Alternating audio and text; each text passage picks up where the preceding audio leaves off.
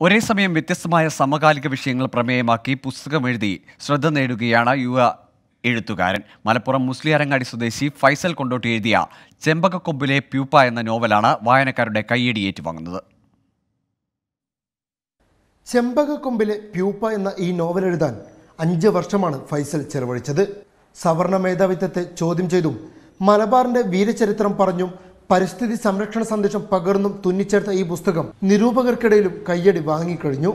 കേന്ദ്ര കഥാപാത്രമായ രജനി എന്ന ദളിത് പെൺകുട്ടി നേരിടുന്ന വെല്ലുവിളികളും അതിജീവനവും രജനിയുടെ വൈകാരിക വിജയവുമാണ് നോവലിന്റെ ഇതിവൃത്തം.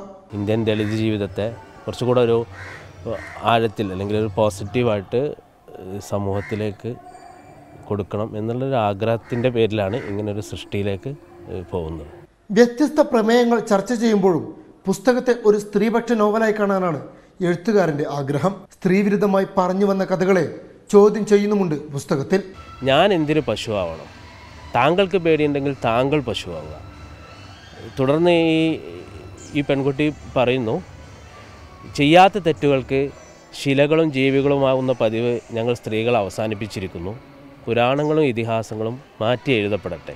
ഷാർജ ഇന്റർനാഷണൽ ബുക്ക് ഫെസ്റ്റിവൽ വേദിയിൽ ഏറ്റവും കൂടുതൽ വിറ്റഴിക്കപ്പെട്ട മലയാളം കൃതികളിൽ ഒന്നുകൂടിയാണ് ചെമ്പകക്കൊമ്പിലെ പ്യൂപ്പ. പ്രശസ്ത എഴുത്തുകാരി കെ ആർ മീരയാണ് പുസ്തകത്തിന്റെ പ്രകാശനം നിർവഹിച്ചത്. അഷ്കർ അലി ട്വന്റി മലപ്പുറം.